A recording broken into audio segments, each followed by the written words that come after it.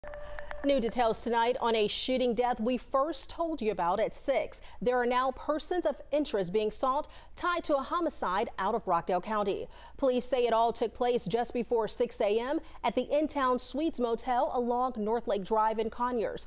Police found the body of 33-year-old Dontavius Hardiman inside a pickup truck with gunshot wounds. And just a few hours ago, we spoke to Sergeant Buck Vaughn with the Conyers Police Department, who says there's a search tonight for answers. And right now, it's being centered around two men. At this time, we're focused on the two that we've been able to get images of, uh, just because that's what we can push out and, and ask help for. Uh, and as the investigation continues, I'm sure that we'll be looking for others as well. Now here's the image Conyers police have released. Take a good look. Again, they're only being considered persons of interest. And if you can help, call Conyers police at the number you see at the bottom of your screen. That's 770-929-4203.